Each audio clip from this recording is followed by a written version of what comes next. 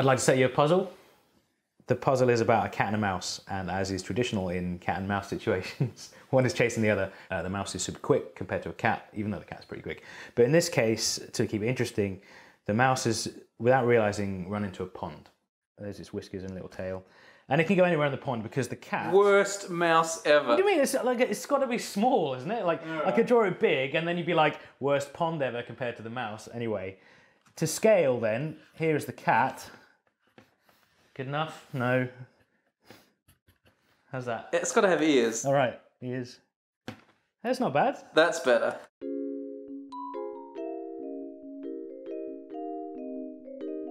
So for the sake of the puzzle, the cat is going to sit on the edge, but it can cruise around the edge, waiting for the mouse to leave the pond. So it's like stalking the edge. Exactly.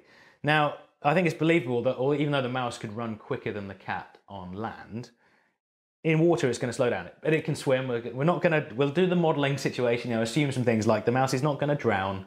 Uh, it can swim. The, assume the cat doesn't actually go in the water, although it probably could, and swipe it from the edge. All of that stuff. Let's just assume it sensibly for puzzle world, and let's assume the cat can run four times quicker than the mouse can swim. In fact, that's the only numerical detail I'm going to give. The cat can walk or run four times quicker than the mouse can swim. And that's it. So the simple question now is can the mouse escape?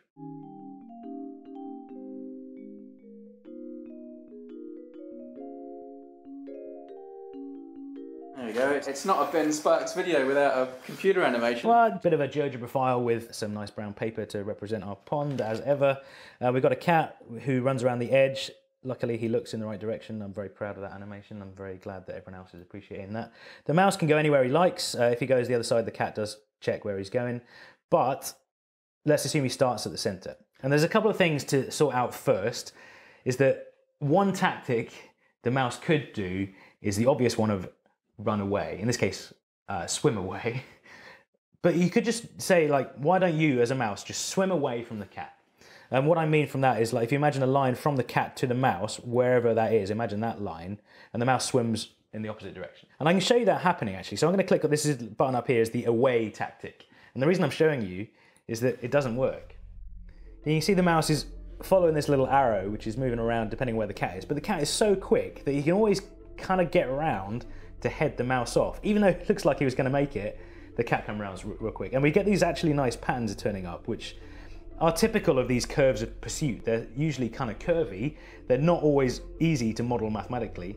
And these ones are, you know, they're almost getting symmetrical, but there's a little bit of randomness. You can see the cat wobbles when he gets in line because he's, he's constantly trying to move, but he doesn't need to move because he's already as close as he can get to the mouse. But it's pretty obvious after watching this for a few seconds, this is going to repeat. Even if it's not going to be exactly the same path, the mouse looks like he's doomed. So the runaway tactic or swim away tactic doesn't work, which means if you've been thinking about that on your little pause where you were just thinking about it, you should probably stop thinking about it because it's not going to get there. I, well, I think it's a pretty sensible tactic. It would, be, it would be a stupid thing not to try it first. And it's difficult to sort out in on paper with mathematics whether it's going to work. So a nice thing to do quite often for mathematicians, even physicists do this sometimes, is to model it on a computer and realize very quickly it doesn't work. I'm going to suggest a hint now, though, uh, that I think the mouse can escape. And therefore, it's instructive to think if this isn't working, how else could he possibly do it and get away from the cat? So, again, if you want to have a think about it, have a think about it.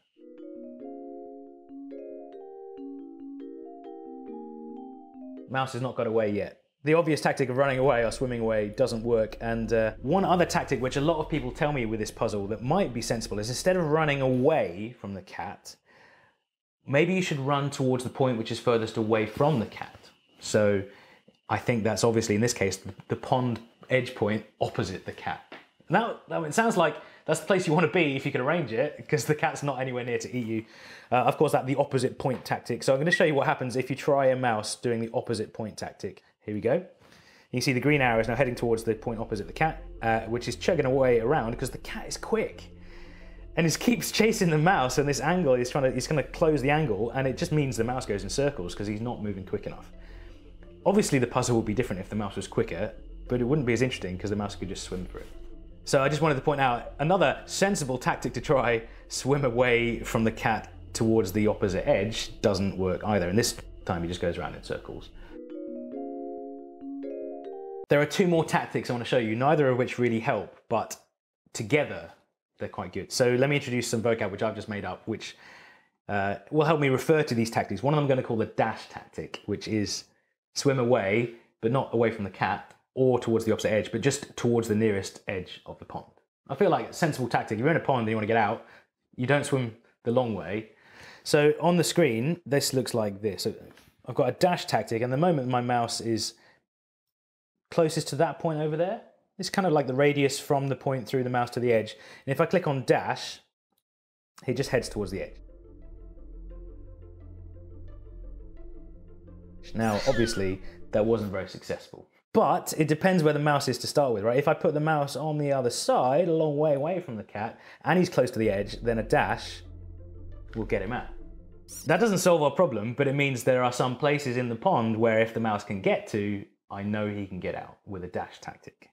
Second tactic then is not a dash tactic, it's a circling tactic. And this doesn't help you get out, but it does help you get away. So what I mean here is that the mouse can move in a circle and this point here is worse for the mouse than this point, despite being the same distance from the edge. So I think this one's better because in terms of an angle, he's further away from the cat, which means measuring this angle, which I've just drawn a line on here, it's a good indication of whether the mouse is far away, like opposite, or close. And actually, I think that kind of summarizes the cat's technique as well. The cat will try and minimize this angle, and if the mouse has got any sense at all, it should try and maximize that angle. But it doesn't always work. So here's a circling tactic. If you're near the edge of the pond, it's a problem because the, the cat is much quicker. For example, the mouse is just circling,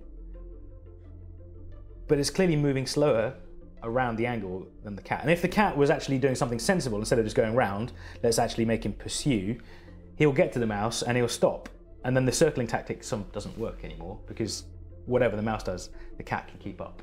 But if I get further away from the edge, if I put it over here, you can see that the cat catches up, but just not quite as quick, which might give you a clue that if I'm right near the middle, it's pretty obvious that even if the cat's really close in the angle, the mouse can get away now.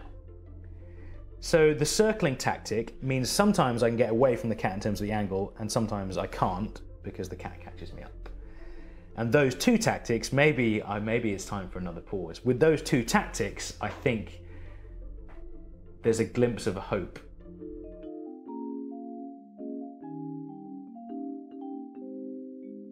Those two tactics, the dash tactic and the circling tactic, which sorts out whether you can get the cat opposite you or not. And let's sort them out one at a time. So the, the dash tactic, let's assume for the dash tactic, we are opposite the cat. So if the cat's here, the mouse is on this line, the other side of the center. But if he's at the center, I don't think he can make it. And maybe you can think about why. The cat has to go around here. Let's assume some things, which includes this radius of the pond, which I've never told you. I'm going to assume it's one, and you can scale it up if you want. The distance the cat has to go round is half of a circumference. So around is 2 pi times 1 halved. It's pi meters. Let's go with meters for the sake of unit. And let's assume there's some speeds going on. Let's assume the cat's speed, for the sake of any other argument, is 4 meters per second. Uh, it's a quick cat. And the mouse is therefore one meter per second. And that's the only number we set this up with. The cat is four times quicker than the mouse can swim. And you can see that uh, if the, the mouse from the center will, let's say it's one, is going to take precisely one second to get out. But how long does the cat take to get around? Well, this is, everyone's like, oh, which, how do you calculate this? I think the, uh, speed equals distance over time thing is a really basic equation that we really need to use carefully. How long will it take the cat to get there? Time is distance over speed. The distance is pi, so it's pi divided by uh, speed, which is 4, is pi by 4 seconds. So it's quicker than a second. It's because pi is less than 4, this is less than 1 second. The cat is there waiting. First thing with the dash tactic is clearly the mouse can't dash from the center. So the obvious question is where can he dash from? And it's the same calculation, right? He's got pi by four seconds at most to get out. So because the cat can get to any point on the circle within yeah, the furthest away point is pi by four seconds away. So actually, he can only get to the edge when that edge is less than pi by 4 away. Because he goes at 1 meters per second, we've, we've set these numbers up to be quite nice. But that circle has a distance pi by 4 there, which means this distance in here is 1 minus pi by 4. And you begin to realize very quickly that my scale on this drawing is terrible. We need to know roughly where that line is, because outside that line, if I'm opposite the cat, I'm home and dry, I just dash for it. And let's just check. You're, you're all estimating this on the video at home, but 1 minus pi by 4, 0.21 from center dash tactic. It's like an event horizon, Ben. Yes, that's exactly what it is. Like inside that, you're doomed with your dash tactics. Outside that, if you're opposite the cat, you're okay. So now the question really is, can I get opposite the cat outside that event horizon? So we actually, now you recognize why the circling tactic's important because that's the one that concerns whether we can get opposite the tack. So let's talk about the, uh, did I call it the tack? I meant the cat. I'm reversing things. uh, let's talk about the circling. This in some ways is feels harder to sort out first because like running in circles feels difficult. But if the cat is running at four meters per second and the mouse is at one, and actually what we care about is how quickly I can get round compared to the cat going round. How big a circle can I keep up with the cat if it's four times quicker than me?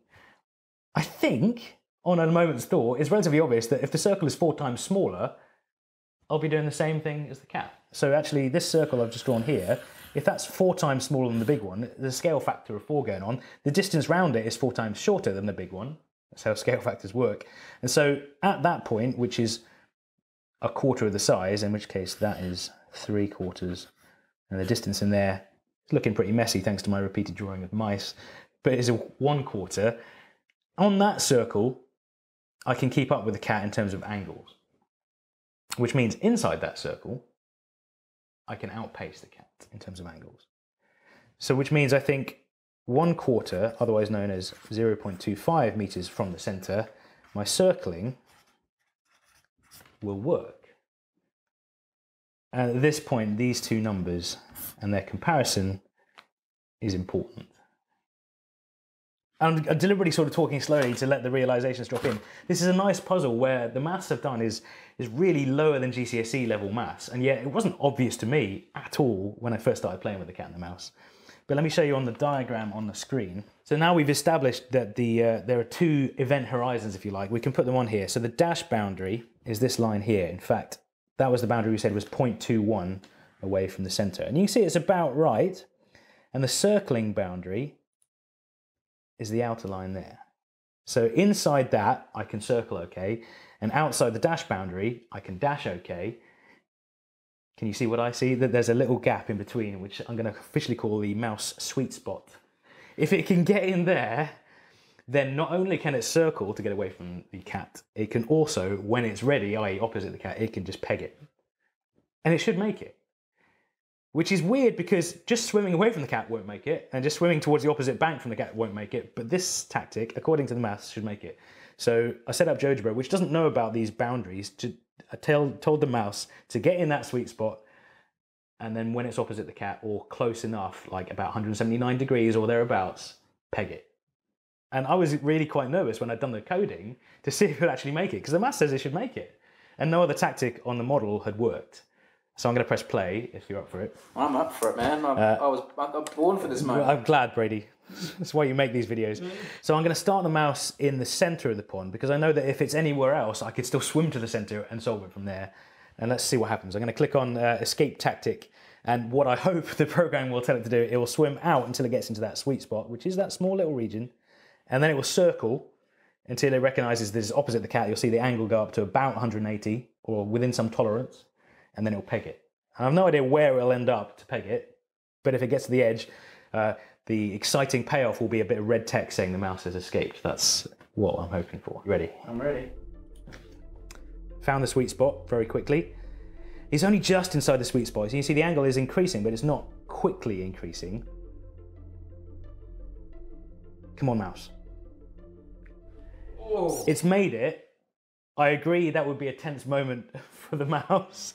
But if I assume, as I did right at the beginning, that the mouse is much quicker on land than the cat, I could just imagine it going, uh, and the cat's like, oh, But I think the maths tells me that wherever the mouse starts, whatever the cat's doing, if it's four times quicker than the mouse can swim, it can escape. So how fast does the cat need to be for the mouse to never escape? Ah, Brady, I like your style. You're doing what all mathematicians want to do in their heart of hearts, and actually most humans do. You're generalizing, right? The four is critically chosen so that that 0.21 and the 0.25 are really close together, and they're the right way round. If they're the other way around, you you can only dash from a point where you can't circle, whereas we had a sweet spot. Um, and actually, I've got a slider on GeoGebra so I can change the ratio of the speeds, and you can see whether the sweet spot increases or decreases. So since you asked, let's uh, let's move the mouse back to the center. Uh, let me turn these two off. That is the region that I call the sweet spot. The critical region is maybe a more technical name for these sort of things. At the moment, the ratio is four. If I change that to 4.1, can you see the sweet spot's gone really quite small? Which means if the cat is 4.2 times quicker, it's all over. Somewhere between 4.1 and 4.2 looks like is the end of the story. If I go the other way, you can see the sweet spot is really big. This is not a surprise. If the cat's slower, the mouse has got a better chance. And in fact, it gets to a point where if the mouse is not quick enough, even at 3.2, in fact, if I go between 3.1 and 3.2, you can see that something, there's, it's all sweet spot in the middle. And 3.1 and 3.2 do bracket a famous number, which I'm sure people have heard of and I've used in fact called pi. So it's to do with actually the, the speed compared with pi here. If it's less than pi, it's all sweet for the mouse. Uh, and in fact, it can dash from anywhere and, and get out. So there's a really tiny area, and four is this lovely chosen. Whoever came up with this puzzle, I haven't managed to track down who originally came up with this puzzle. It seems to have been around a long time, but I hadn't heard it until a couple of years ago when someone told me about this puzzle. We were sitting in a bunkhouse in the Lake District around a fire, and he said, I got a puzzle for you, and just told me about the cat and the mouse. I don't know, I don't know, it was a bit arrogant perhaps. I was like, this is going to be a simple puzzle. Completely flummoxed me for a week.